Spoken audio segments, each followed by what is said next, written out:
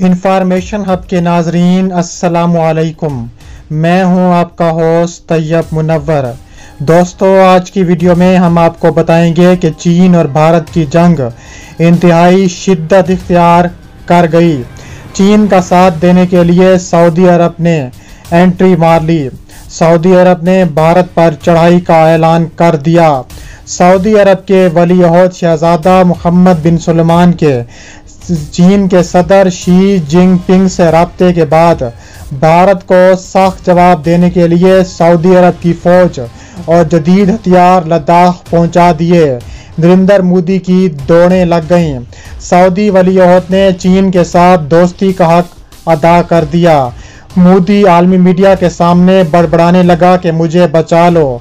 कोई भी मुल्क भारत की मदद को तैयार नहीं। भारत के टुकड़े टुकड़े होने से अब कोई नहीं रोक सकता। और वीडियो के आखिर में बताएँगे कि सऊदी अरब ने चीन के साथ आखिर कितनी बड़ी तजारत बढ़ाने का ऐलान कर दिया। और सऊदी अरब ने चीनी करेंसी का इस्तेमाल करने का भी फैसला कर लिया। वीडियो में आगे बढ़ने से पहले अगर आप पाकिस्तान से मोहब्बत करते हैं तो हमारी वीडियो को ज़रूर लाइक करें और हमारे चैनल को सब्सक्राइब करके बेल आइकन पर क्लिक कर दें। दोस्तों, चीन और भारत की जंग शिद्दत इख्तियार कर चुकी है। पाकिस्तान, नेपाल, भूटान, तुर्की अब चीन के साथ खड़े हैं।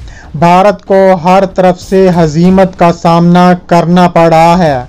अब चीन के लिए दुनिया के सबसे बड़े मुस्लिम मुल्क के वलीहद शहजादा मोहम्मद बिन सुलेमान और सऊदिया ने चीन का साथ देते हुए भारत पर चढ़ाई का ऐलान कर दिया।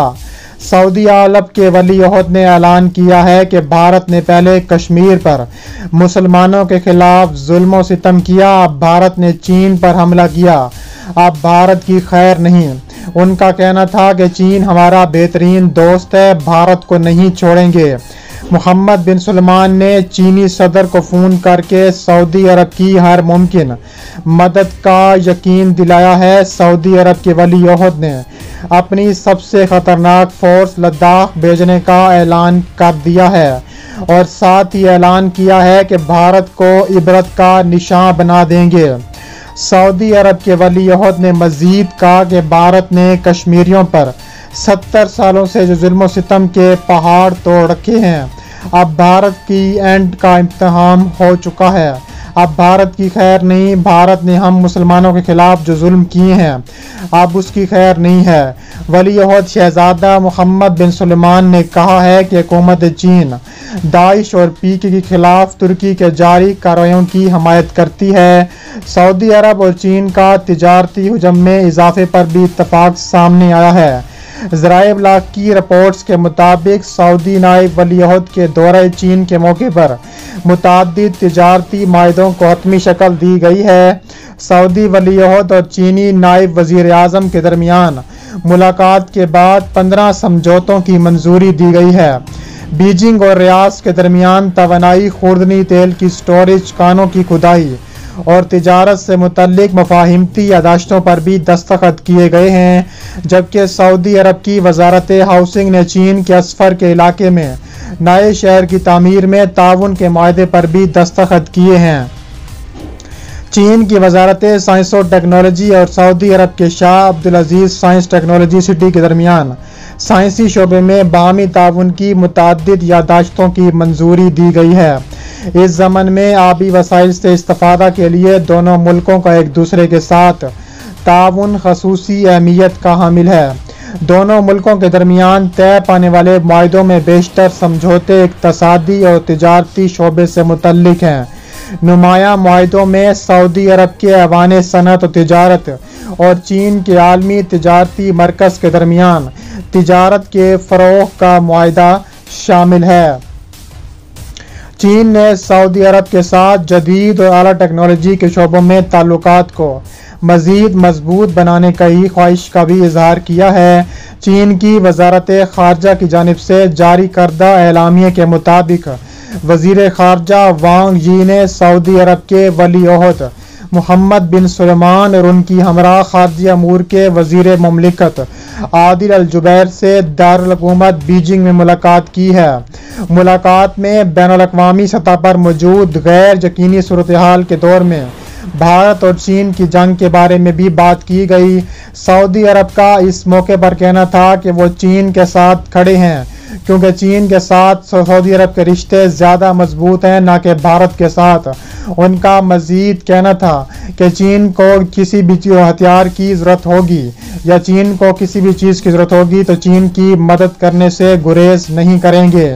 दूसरी जानब मुलाकात में बैन अवी सतह पर मौजूद गैर यकूनी सूरत हाल के दौर में दोनों मुल्कों की बैन अवी और इलाकई मसाइल को हल करने के बारे में ज़्यादा मस्बत और बेहतर तरीके से हल करने की ज़रूरत पर ज़ोर दिया है। चीन के वज़ीर खारजा वांग जी ने कहा है कि दुनिया में तमाम ही ममालिक को तरक्की करने का हक है। सऊदी अरब मादनी वसाइल से माला माल मुल्क है और अपने इन वसाइल को तरक्की के लिए इस्तेमाल करने का ख्वाहा है। चीन सऊदी अरब की तरक्की की राह पर चलने और इस सिलसिले में उठाए जाने वाले तरक्याती प्रोग्राम की मुकम्मल हमायत करता है और चीन, सऊदी अरब को जदीद और अला टेक्नोलॉजी को मुंतकिल करने के लिए तैयार है। सऊदी वली हिंदुस्तान के दौरों के बाद अब अगले महीने चीन पहुँचने वाले हैं, जहाँ वो इलाकाई फरतकारी की बदौलत सऊदी अरब उन ममालिक से इकतदी ताल्लुक बेहतर बनाने की कोशिश करेंगे। इस दौर दौरे के दौरान वो चीनी सदर शी जिनपिंग से भी मुलाकात करेंगे। सऊदी वलीहद के वज़ीर दिफा और नायब वज़ीर अजम शहजादा मोहम्मद बिन सलमान। अगले माह अगस्त में चीन के दूसरे तारीखी दौरे की और अजीम दीवार चीन की भी सैर करेंगे और इसके मुख्तलिफ़ हिस्से देखेंगे। अरियाज में मुतन चीनी सफ़ीर ली हवा शीन और बाज़ दूसरे आला हुकूमती अहदेदार भी। इनके हमरा थे उन्होंने शहजादा मोहम्मद बिन सलमान को चीन की दिफाई अहमियत से आगाह किया। सऊदी वलीहद के निजी दफ्तर के जिम्मेदार बदरुल अक्सर ने एक ट्वीट में बताया है कि Saudi Arab Mohammed bin Salman दौरे चीन पर हमला करने वाले हैं और जल्द ही वो चीन का दौरा करेंगे। इस मौके पर उन्होंने चीन के नायब वज़ीर अजम हांग जी के साथ होने वाली मुलाकात में दो तरफा अमूर पर बातचीत की है। ये मुलाकात बीजिंग के ग्रेट हाल में हुई थी। चीनी नायब वज़ीर अजम और सऊदी अरब के वली अहद ने चीनी सऊदी ताउन फोरम के अजलास में भी शिरकत की। ये अमर अहम है कि सऊदी अरब चीन को खाम तेल फराहम करने वाला अहम तरीन मुल्कों में शुमार किया जाता है। सऊदी वली चीन से कबल, पाकिस्तान, भारत और चीन का भी पहले दौरा कर चुके हैं। उन्होंने मलेशिया और इंडोनेशिया के दौरे पर भी जाना था, लेकिन उनकी मसरूफियात के पेश नज़र इन दोनों मुल्कों के दौरे फ़िलहाल उन्होंने मुलतवी कर दिए हैं। इसके अलावा चीन और भारत के दरमियान कई हफ्तों से जारी कशीदगी के जलो में, चीनी हुकूमत ने भारत की सरहद पर इंतहाई पेशा वराना लड़ाका फौज तैनात करने के साथ साथ सऊदी अरब ने लद्दाख में अपनी फ़ौजें भेजने का ऐलान कर दिया है और जदीद हथियार भी लद्दाख रवाना कर दिए हैं।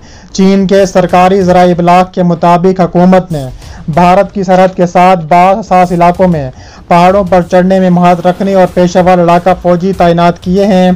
ख्याल रहे कि जून के दौरान दोनों एशियाई मुल्कों के दरमियान चार हज़ार मीटर की बुलंदी पर वाकई हमालिया की चोटियों पर झड़पें हुई। इन झड़पों में कम अज कम 20 भारतीय फौजी हलाक हुए, जबकि हलाक होने वाले चीनी फौजियों की तादाद का दुरुस्त अंदाज़ा नहीं लगाया जा सका। दो अशरों के बाद भारत और चीन के दरमियान सरहदी कशीदगी इस नहज तक पहुँच चुकी है कि सरकारी टीवी चैनल पर दिखाए गए मनाजिर में जनूबी मगरबी चीन के इलाके तिब्बत में सैकड़ों फौजियों को भारत की सरहद के करीब देखा गया है। एक मकामी अखबार ने तिब्बत सूबे में चीन के मिलिट्री कमांडर वांग हेंगयांग का बयान नकल किया, जिसमें उनका कहना था कि भारत की सरहद पर लड़ाका फौज की तैनाती से इलाके में चीन की फौजी कुत और किसी भी कार्रवाई पर फौरी जवाब देने की सलाहियत में इजाफा होगा। वी चैट नमी सोशल मीडिया एप्लीकेशन पर पोस्ट करदा एक खबर में कहा गया है कि लड़ाका फौज की तैनाती का मकसद सरहदी सिक्योरिटी में इजाफा करना है।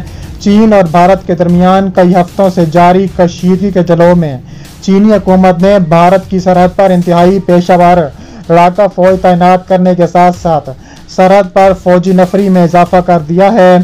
चीन के सरकारी ज़रा इबलाग के मुताबिक हुकूमत ने भारत की सरहद के साथ बाद हसास इलाकों में पहाड़ों पर चढ़ने में महारत रखने और पेशे वाल लड़ाका फौज भी तैनात कर दी है।